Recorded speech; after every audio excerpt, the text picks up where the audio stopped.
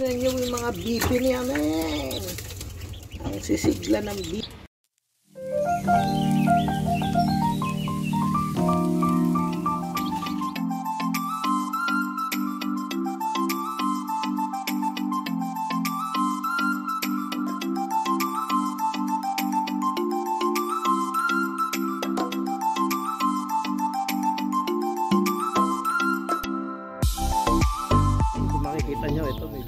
Natin. So, na, na, ang nagiging green na lang ay yung mga nasa gilid ng ating dates.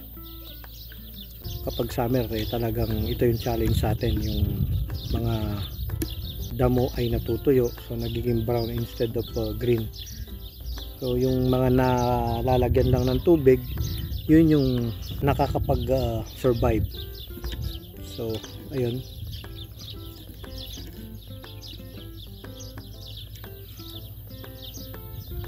Okay guys, uh, bali mamaya na lang at uh, ayun at least nakita nyo rin yung ano dito, sitwasyon sa farm namin.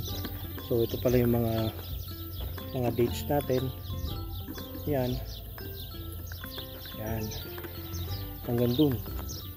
Guys.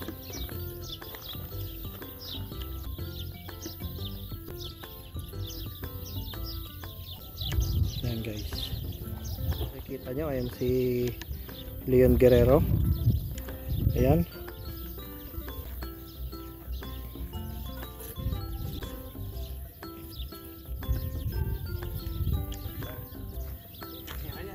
Mm. Lighter, lighter eh. Hmm.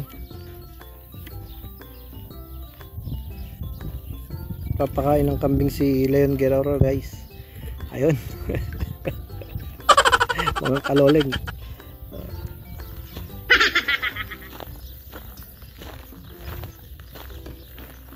Pinapakain niya si Burnok. At ah, napakalaki talaga ni Burnok. Napakalakas kumain.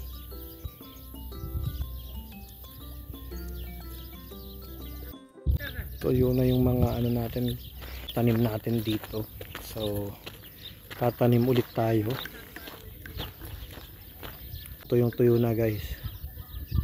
Yan. Makikita nyo na harvest na lahat halos yan. Magmula dun. Yan.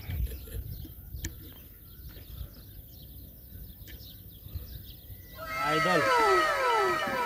Araw-araw to mga idol, mga ng manok. Sana may. So araw-araw kami white nag-harvest leghorn, dito. mga white leghorn natin. Actually, every other day pala kasi may trabaho tayo sa Dubai. So kailangan lang natin pumunta rito para kumuha ng mga Ah, itlog at eggs saka yan. organic to. ayun, yung mga halaman din natin, mabantay natin. Lalong lalo lalong lalo na yung mga kambing natin. So makikita nyo, ayan. So yung ibang manok ay naka nan pinipre-raise lang namin sila minsan. So ayan guys, at ganun lang naman. So check din natin tong mga bisa. ating Ano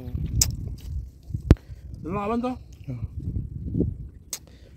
So yan guys, oh, um, ating pong pagmasda, kung makikita nyo naman, ito yung decompose na tinatawag natin na kung saan ito nagmula sa waste ng kambing o uh, meron din tayong waste ng mga ano dito, um, manok. Isip na nandito tayo sa UAE, meron tayong ganitong ah, livestock na kung tawagin ay bibi.